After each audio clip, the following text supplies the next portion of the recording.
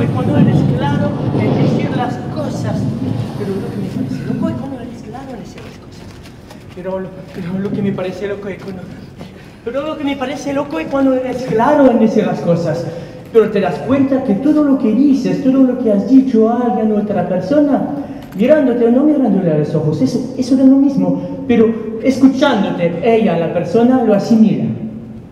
Desde el momento que sale de tu boca hasta que llega a su oído, al de la otra persona, ella, la persona, lo asimila en su cerebro. Lo que me parece loco es que generalmente tú crees que fuiste claro en decir las cosas, pero te das cuenta que cuando lo asimiló lo que dijiste no es lo que has dicho, me refiero. Te das cuenta del valor que tiene todo lo que dices. El problema está cuando dices algo que para ti es, eh, es muy importante, algo que llevas en tu corazón, que te tiene a cœur, pero la persona o personas no lo interpretan como tú lo dices. Me explico. Tener diferentes puntos de vista. Creer que eres comprendido. Sí, claro, fuiste comprendido por los otros, pero los otros te comprenden con sus puntos de vista. Y eso para mí es alucinante.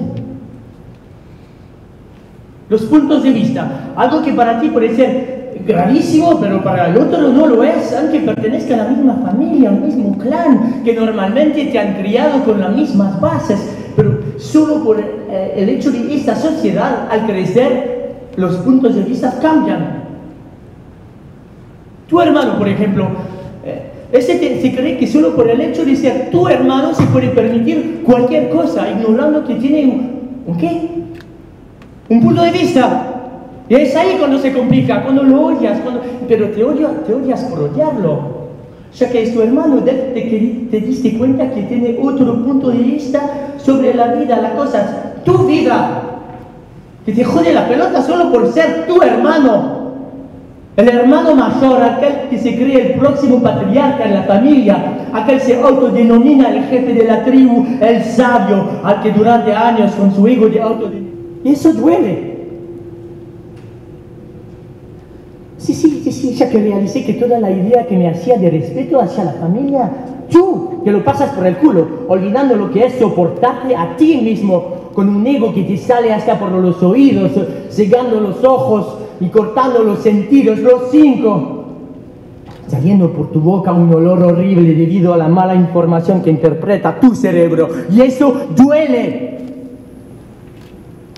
Y te jode, te jode el alma. Ya que es tu hermano y, por muy puto que sea, aunque, aunque sabes que no vas a hablar más con él, nadie tiene derecho de, hacerle daño. Y te jode defenderlo, pero lo haces, ¿no? Pero no lo haces por él. Estás obligado de aceptarla, te la impusieron. Saliste obligado después de 7, 8, 9 meses.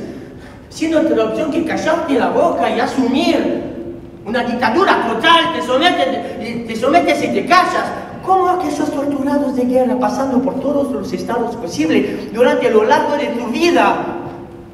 O da lo mismo si te tocó una familia rica, o da lo mismo si te tocó una familia pobre, o, o peor, una- la clase media. Te someten, te sometes y te callas. Aguantas y te callas. Familia, dictadura militar.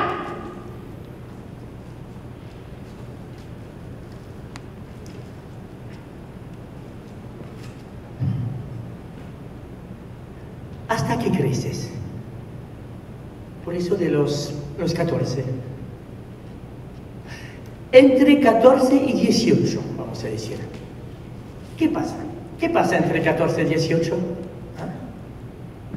Golpe de estado total. Un Che adolescente, un Pinochet adolescente, te lo revoluciona todo, ¿eh? le jode la vida a todos, te crees rebelde, te crees invencible, te le jode la vida a toda, toda tu familia con tu puto punto de vista de adolescente. Es ahí donde se juega todo.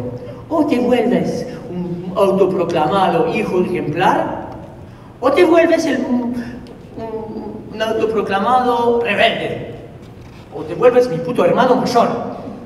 El que se ríe el que, no te respeta, el que te jode la pelota, el que, está celoso de tus logros. O, o pe- peor aún peor, lo más humillante, lo más, es cuando nació tu hermano después de ti.